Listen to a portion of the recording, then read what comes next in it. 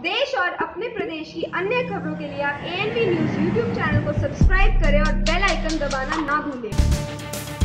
जहाँ एक और प्रदेश के मुख्यमंत्री योगी आदित्यनाथ ने कार्यालयों में धूम्रपान तक निषेध कर रखा है और जिला अधिकारियों को इस पर सख्ती से पालन करने के निर्देश भी दिए गए हैं। वहीं दूसरी ओर कलेक्ट्रेट का नाजर नशे में धुत मुख्यमंत्री के आदेश का खुलेआम धजिया उड़ाना, देखिए।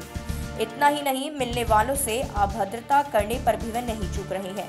तस्वीरों में आप देख रहे हैं ये व्यक्ति, जिला अधिकारी कार्यालय के सामने नजारत के कार्य तहसीलदार रामकृष्ण श्रीवास्तव, जो ऑफ़िस में शराब के नशे में धुत है। स्थितियाँ इतनी बद से बदतर हैं कि अपनी सीट पर नाजर का बैठना तक मुश्किल हो गया है जिसे उसे बगल पड़े बेंच पर लटाना पड़ा। नजारत के प्रशासनिक अधिकारी रामकृष्ण श्रीवास्तव का ये गंदा खेल खुलेआम कार्यालय में चला करता है। तहसीलदार ने कार्यालय के मेखाने में तब्दील कर दिया है। बताया जा रहा है कि तहसीलदार खुलेआम कार्यालय में ही शराब पिया करता है। उसकी दबंगई इतनी है कि किसी की हिम्मत नहीं कि उसके विरोध में बोलने के लिए वह कोई आगे आए। सुबह तहसीलदार रामकृष्ण श्रीवास्तव अपने ऑफ़िस में बैठा शराब के नशे में झूम रहा था। तभी एक फरियादी किसी काम से उसके पास जा पहुँचा।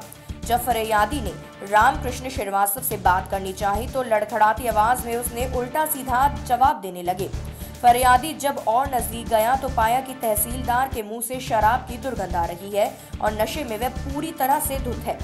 नशे में धुत तहसीलदार से पूछा गया, क्या शराब पी रखी है? तो नाजिर ने जवाब दिया, कहा? हाँ पी रखी है। तू कौन होता है मुझ पर ऐसे सवाल उठाने वाला? और मुझसे बात मत करो।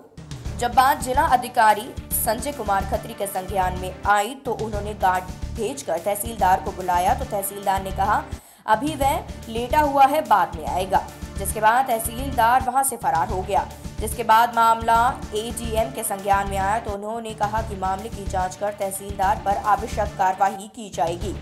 रायबरेली से रविंद्र सिंह की रिपोर्ट।